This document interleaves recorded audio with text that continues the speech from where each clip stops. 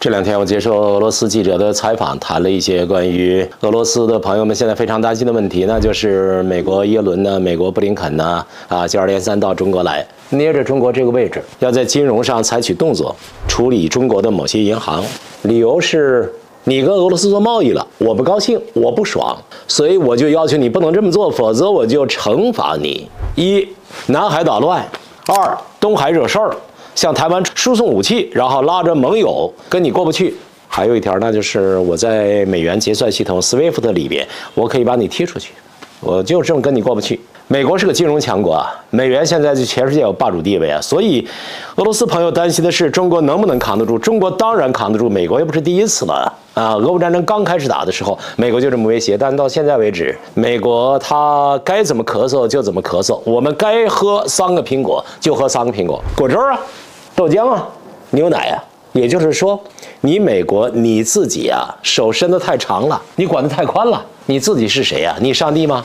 但是话说回来，美国的确有可能给我们制造麻烦。我跟俄罗斯朋友说，我说这事儿啊，咱们又不是第一次遇到了。中俄关系是经过考验的，经过考验，现在中俄关系更全面、更稳定啊，更灵活呀，内在的适应性和外在的适应性更强了。我们中俄贸易增长，二零二三年是两千四百多万。啊，今年只会更高。美国人不高兴，你不高兴你的。在俄罗斯战场上，给俄罗斯军队提供各种零部件的百分之六十以上是谁啊？是美国及其盟友啊。所以你自己管不住你自己。至于向乌克兰提供的，那就甭说了。你起哄假秧子，添火浇油。中国主张和平，中国提出十二点和平解决乌克兰问题的主张。中国是希望大家一块吃肉啊，论斤分银子，大家一块发财的。我们跟你们路数不一样。你没有权利来决定我们该怎么办，但是，话是这么说，美国确实有可能给我们制造麻烦，尤其在金融上勒索，加上金融制裁，这个东西其实是战争手段的运用。战争不是最激烈的政治吗？那既然是政治手段的运用，经济手段综合的手段，所以现在我们对美国给我们制造麻烦这一条啊。也必须有充分的估计。既然他是金融强国，他有本事给我们制造麻烦，那我们就得克服困难啊，我们就得解决麻烦呀。所以建设呢，大国金融，建设金融强国，这是我们现在面临一个特别重要的问题。任何一个以银行业为主体的国家，你首先需要一个庞大的货币市场与之匹配，因为你银行放出长期贷款之后啊，为了应对老百姓日常提款，司马南到了南锣鼓巷这个支行，说我今天我要提五万块钱，说干嘛去？我看网上有个短视频说，我提出来存到对面银行去，你这属于您是没事捣乱嘛？但是不捣乱，老百姓日常总是有需要啊。你银行你放出长期贷款之后，为了应对公众日常提款需要，那必须得有海量的短期流动性支持，明白吗？就银行得把钱存够了，你没存钱，你钱不够，人家到这来提款提不到，那成什么人了？那不慌了吗？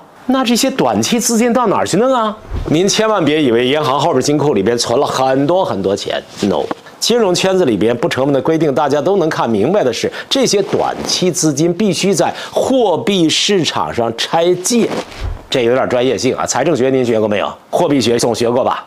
第二就是经济追赶。经济追赶，这是个独有的概念，它意味着投资项目可参考前人的成功经验，这决定了银行对于投资项目的风险，你怎么认知、怎么评估、怎么相对容易。正是因为这么一个原因，所以银行主导的信贷金融模式一般都是经济追赶期的国家的标配。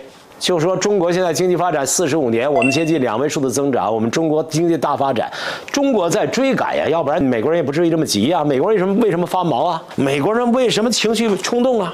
美国人为什么老跟咱们过不去？不是咱们共产党领导的干的不好，是共产党领导人民依法治国，我们干的太好了，我们越来越接近美国了，摸到肩膀头了，美国人不舒服了。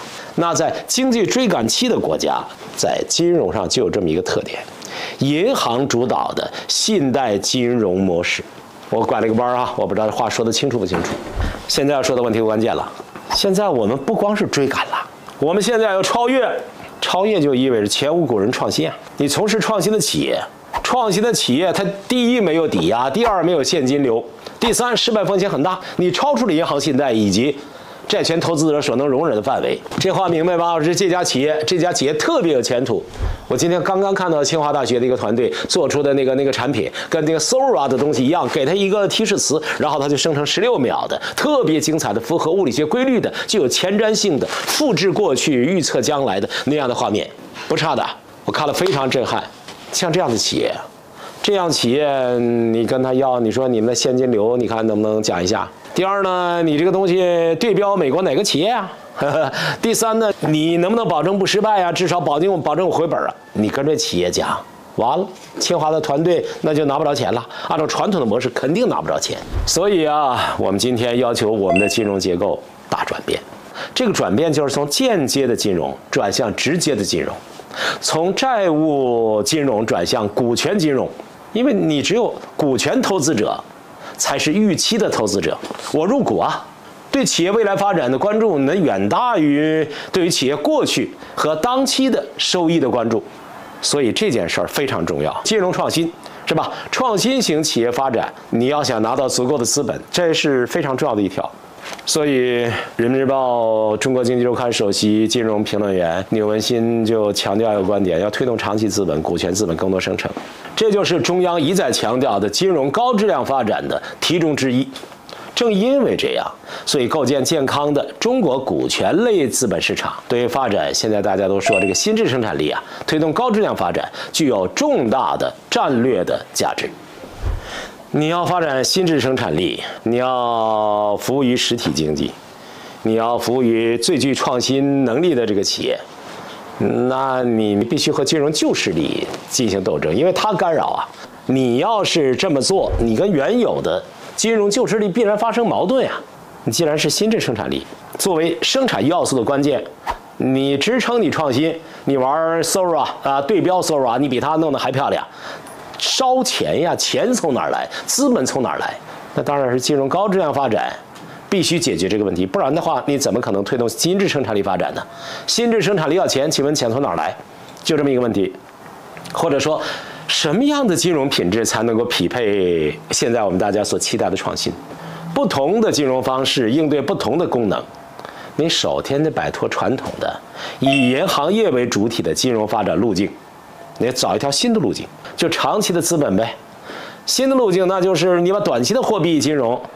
改为长期的资本金融，就是金融结构，你应该股权资本为主，债务资本金融为辅。如果我们的新质生产力、我们的创新企业能够得到呢长期资本的这种的资助的话，我们的金融也强了，我们的企业实力也强了，那我们就不怕美国的这种制裁。你制裁动不了我的筋骨，或者换句话说，李玉和的话说，你只能把我的筋骨松上啊一松。好了，这期节目说到这儿，感谢各位收看，我是中国公民、北京市民、北京市东城区居民司马南，再见。